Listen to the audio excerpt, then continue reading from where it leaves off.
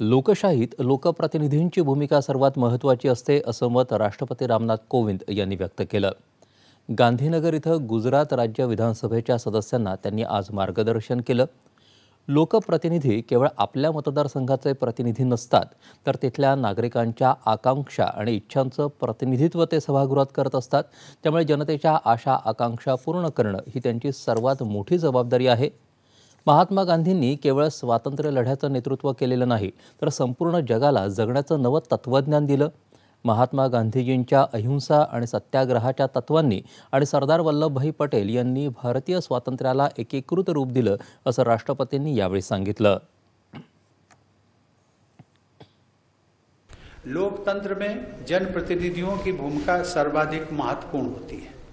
आप सभी विधायकगण अपने क्षेत्र और प्रदेश की जनता के प्रतिनिधि हैं। लेकिन उससे भी बढ़कर यह महत्वपूर्ण है कि आपके क्षेत्र और प्रदेश की जनता आप सबको अपना भाग्य विधाता मानती है।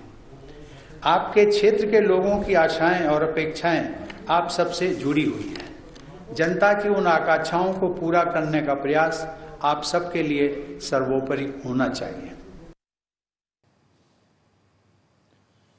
राजकारणाबरोबरच सांस्कृतिक सामाजिक तसंच आर्थिक क्षेत्रात गुजरातनं महत्त्वाची भूमिका बजावली आहे.